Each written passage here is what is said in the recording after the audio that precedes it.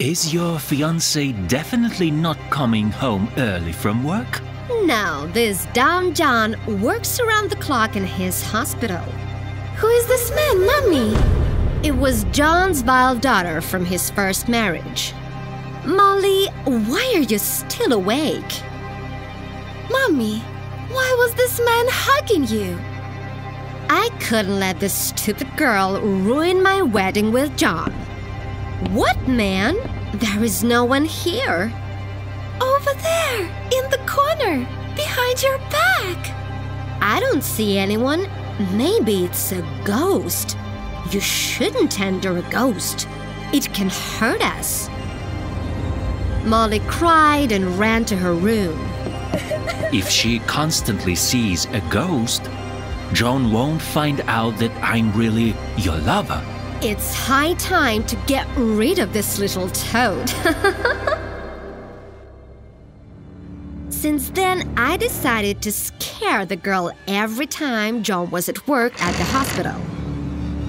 My lover hid in the nursery closet and came out of it at night.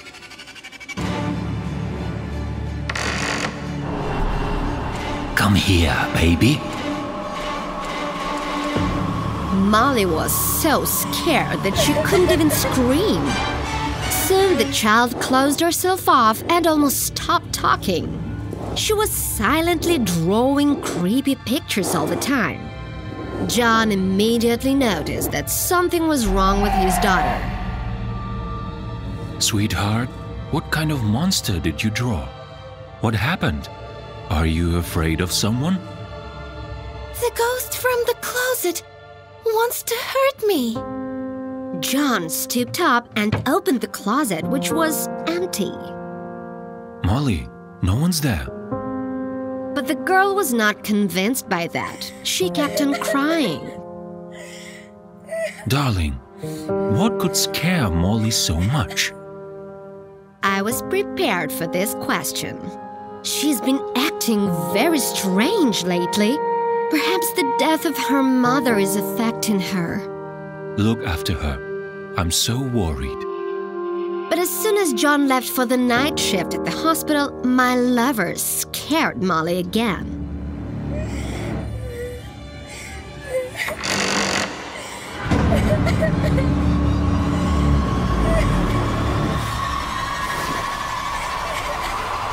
Honey, the girl already believes in ghosts.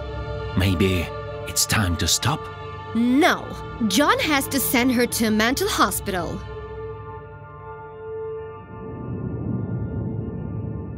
When my fiance returned from work, I was frightened and in tears. What's happened?